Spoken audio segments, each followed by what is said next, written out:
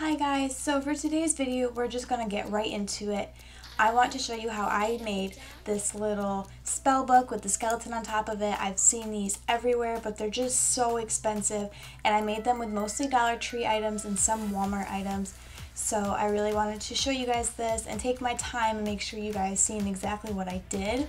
This is probably going to be my last Halloween little DIY video. I do plan on doing a house tour, but other than that, we're to get right into Christmas after this video. So I just wanted to kind of prepare you guys for this, and if you want to see how I made this little skeleton spellbook, just keep on watching.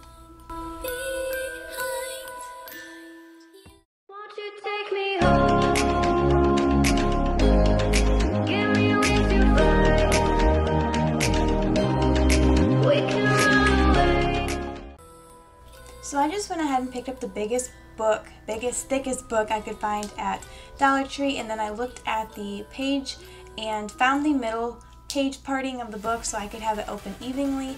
And what I'm going to do after that is I'm just going to lay the book upside down and stick these jumbo popsicle sticks on it. I got these at Walmart, and this is just going to kind of try to hold it open so it doesn't shut and it's not flimsy. I'm also trying to hide the book title because I feel like I'm disrespecting the author a little bit, but I feel like I also didn't do a very good job at hiding that. So just go ahead and glue your popsicle sticks on. I believe I glued three on. I am you.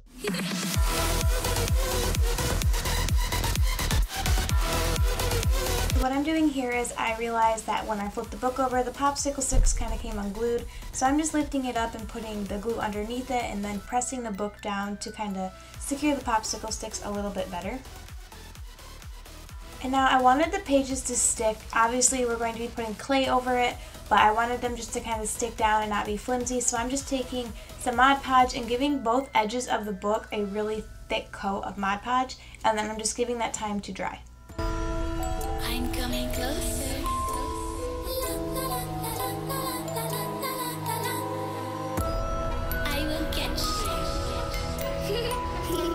Now I'm taking this air drying sculpting clay. Make sure it is air drying guys because obviously you can't put a book in the oven.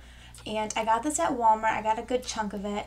And I'm also using this glass water bottle because I don't have a little roller. As embarrassing as that is, I am a 22 year old adult who doesn't have a cooking roller. But I'm just rolling this out to a good thickness, not too thin and not too thick. And I'm going to take this and put it over the edges of the book. Now this was kind of complicated, guys. You just have to kind of match it up and stick it. I used hot glue to secure it where I needed it to because obviously the clay is not dry yet. So I used hot glue for the time being and then I also used this little silicone spatula that I actually picked up from Dollar Tree to kind of just smooth out the clay and help place it and also to push it on the inside of the book because it was kind of hard to get my fingers down in there. So you just have to kind of work at it, match it up with your book, smooth it out along the way, and then you also just have to take clay and piece it together. You guys will see everything that I did.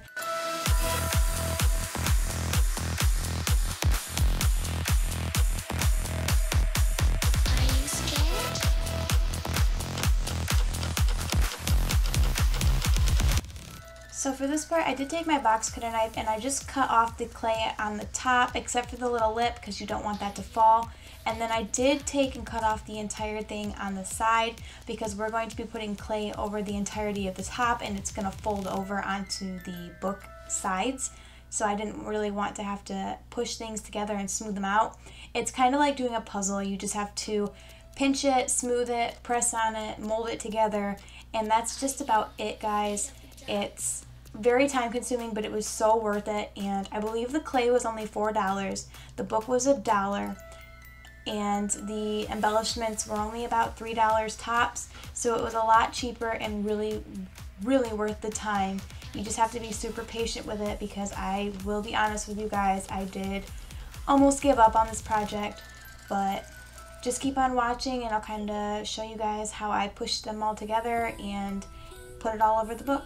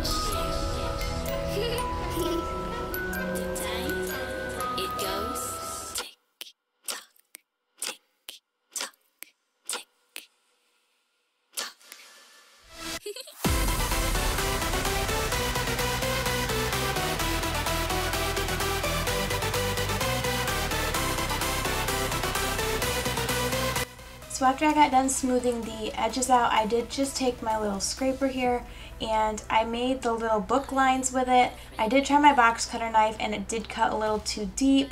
So this is what I used. I'm sure there's so much things that you guys could use for this if you don't have one of these on hand. And I didn't make the pages clean at all. I made it messy, but I kind of thought that it would add to the whole old antique looking part of the book.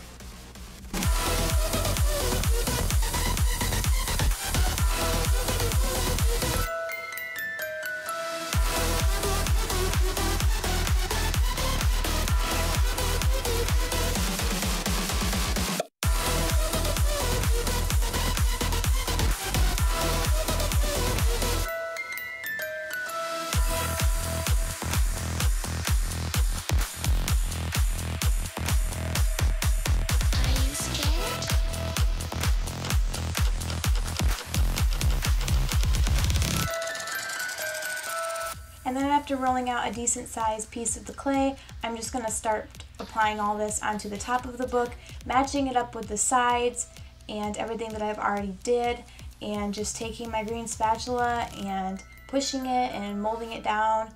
And that's pretty much it guys. I just use my box cutter knife here to cut along the edge because all you really do is you take your finger or the spatula and you just kind of push it together and eventually it does come together. You just have to really work at it, but it is so worth it.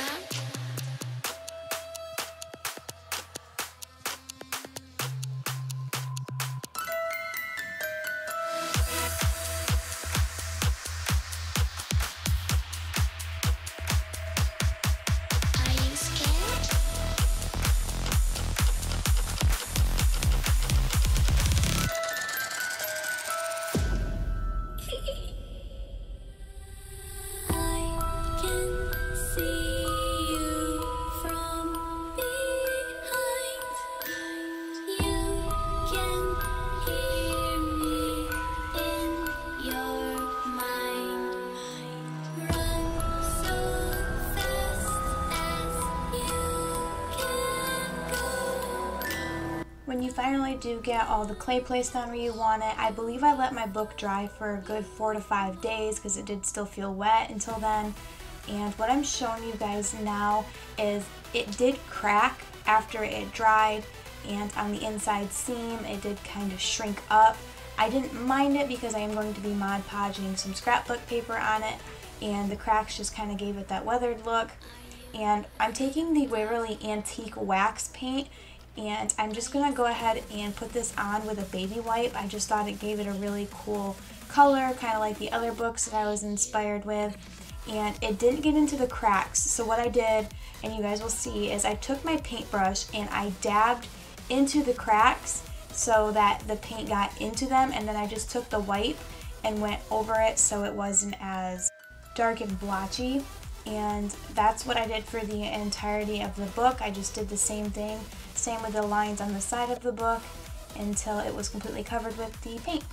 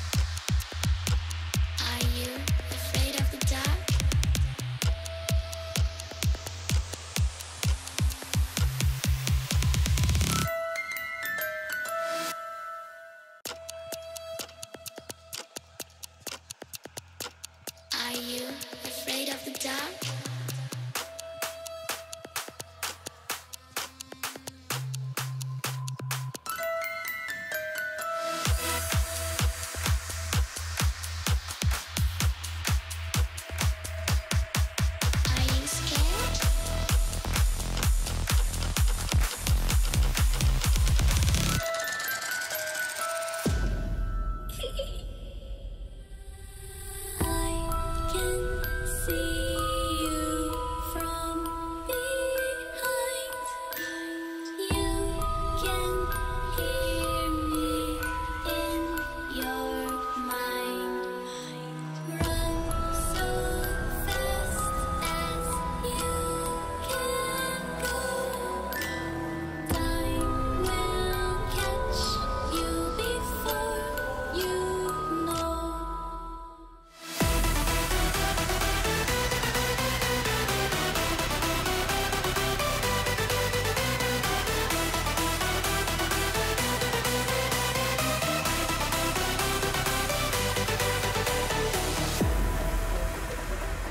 Are you afraid of the dark?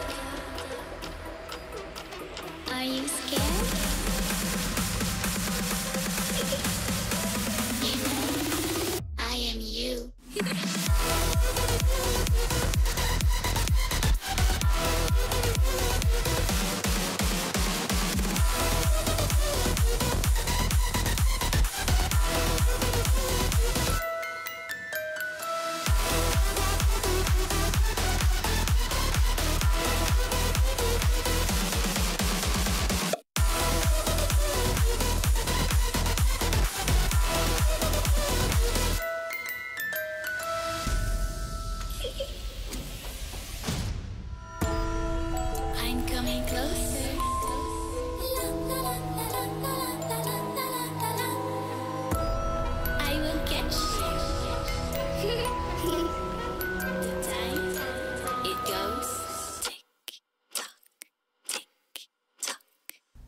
Just went on Google and typed in old spell book pages and I liked this one the most of them all. I did find two that look similar and I'm just taking my lighter and kind of burning around the edges to just make it look a little more worn down. I do want to let those of you know who are watching it that are not adults to be very careful and make sure that you're getting help. You don't want to burn your house down, but I just kind of burned it until how I liked how it looked and then that was about it for the distressing of the pages and after that I'm just going to apply it to the book with some Mod Podge and stick it on.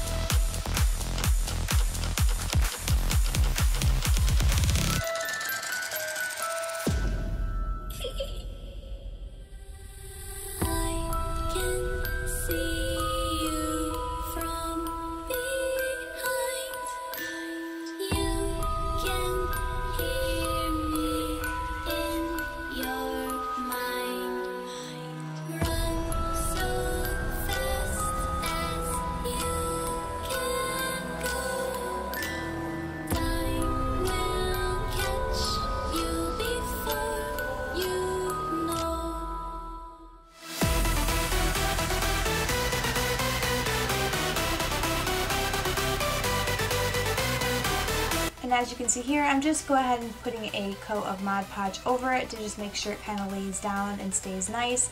And then I'm just kind of showing you guys what you could put on there. You could do spiders or anything. I decided to go with the skull. I actually got this from Five Below for $2 and I didn't like the spider web on there so I just went ahead and took that off and then I thought that the skeleton kind of looked a little too new as for say for the texture and color of the book.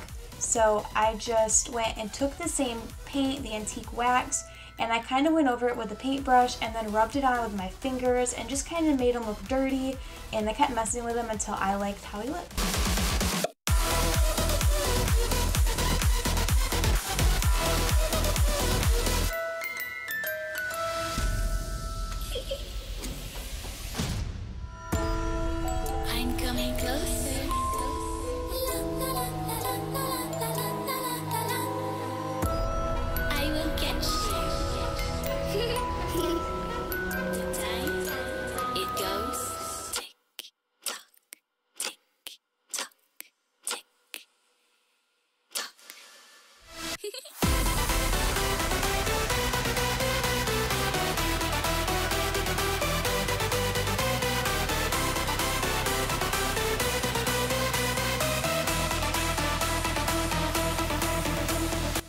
Just going to go ahead and take some E6000 and some hot glue and apply it to the areas I was just showing you guys because that is where he's going to be touching the book.